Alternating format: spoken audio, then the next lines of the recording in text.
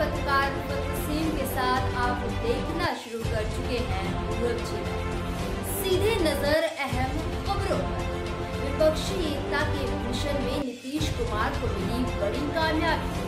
ममता बनर्जी ने किया समर्थन देने का ऐलान। दरअसल नीतीश कुमार इन दिनों विपक्ष को एकजुट करने की कोशिश में लगे इसी कड़ी में उन्होंने पश्चिम बंगाल की मुख्यमंत्री ममता बनर्जी से मुलाकात की। वही मुलाकात के बाद दोनों ने प्रेस कॉन्फ्रेंस भी किया। इस दौरान जहाँ बिहार के मुख्यमंत्री ने कहा कि हमारे बीच पॉजिटिव बात हुई है, वहीं ममता बनर्जी ने भी कहा कि भाजपा के खिलाफ हम सब साथ आएँगे और लड़े। यहाँ आपको बता दें कि नीतीश कुमार ने कहा कि अब पता नहीं भाजपा वाले इतिहास बदलेंगे या क्या कर देंगे। उन्होंने कहा कि सभी को सतर्क होना है। इसलिए हम सभी के साथ बातचीत कर रहे हैं और आवश्यकता अनुसार हम भविष्य में अन्य पार्टियों को साथ में लेकर बातचीत करेंगे। वहीं ममता बनर्जी ने कहा कि पहले हम सभी को साथ आना और ये संदेश देना है कि हम एक उन्होंने कहा कि मैंने नीतीश कुमार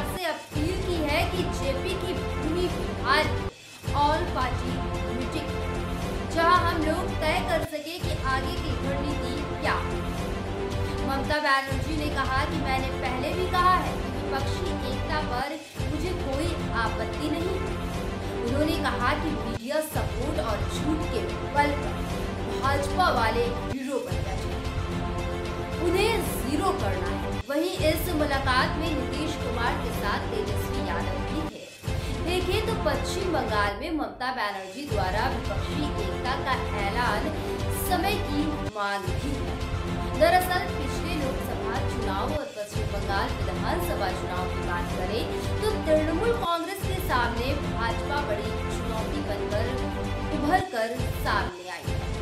अगर लोकसभा चुनाव परिणाम पर नज़र दौड़ाए तो 2014 में पश्चिम बंगाल में भाजपा को मात्र लेकिन 2019 के लोकसभा चुनाव में ये संख्या बढ़कर 18 हो गई, जबकि तृणमूल कांग्रेस को 2014 में चौतीस सीटें मिली थी, लेकिन 2019 में ये घटकर यहाँ नीचे आकर 22 पर आ गई। यानी कि एक तरफ़ जहाँ भाजपा मज़बूत तो दूसरी तरफ़ तृणमूल कांग्रेस कमज़ोर हुई। ऐसे में मौके की नजाकत को समझते ममता बनर्जी ने बड़ा ऐलान कर दिया, जो नीतीश कुमार के लिए भी बड़ी सफलता है। अब देखना यह है कि लोकसभा चुनाव तक नीतीश कुमार अपने इस मुहिम कितने विपक्षी दलों को साथ ला पाते हैं।